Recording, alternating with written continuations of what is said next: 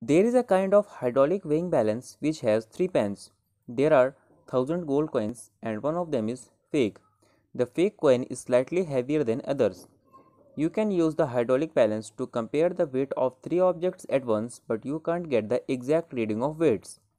You have to find the fake coin in a minimum number of trials. What will be your strategy and in what number of trials you will surely find that coin.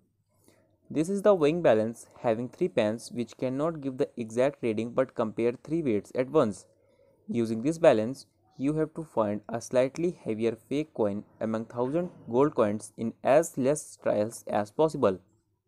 You are watching Brain Exploders, the world where brain starts working.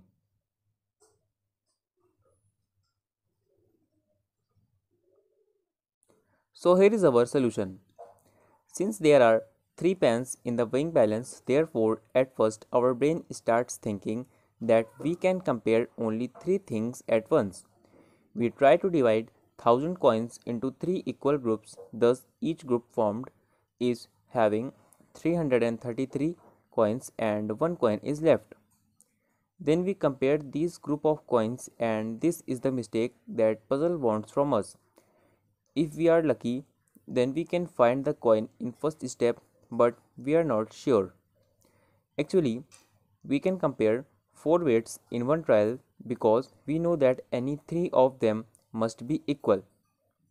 Divide the coins into 4 groups each having 250 coins. Then take any 3 of them and put on the weighing balance.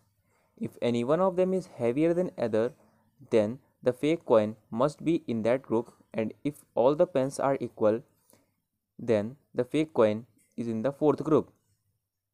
Again, we have to do the same thing but this time coins cannot be divided into 4 equal groups because 250 leaves 2 as a remainder when divided by 4. So we have 3 groups of 62 coins and 1 group of 64 coins.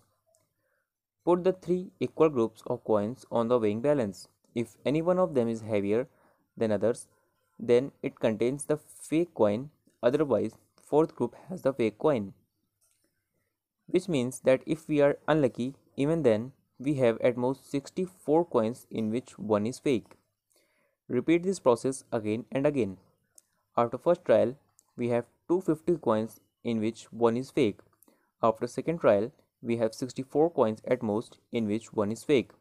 After third trial we have 16 coins. After fourth trial we have 4 coins and after fifth trial we get the fake coin and this was our solution.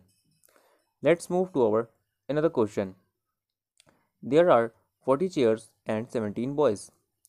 All the chairs are placed around a circular table such that distance between any two adjacent chairs is same. All the boys are randomly sitting on the chairs. What is the probability that exactly two boys are sitting opposite to each other? Try this question and comment us the solution and if you have any question like this then please share with us. Don't forget to like and share our video and for more such videos subscribe to our channel Brain Exploders. Thanks for watching.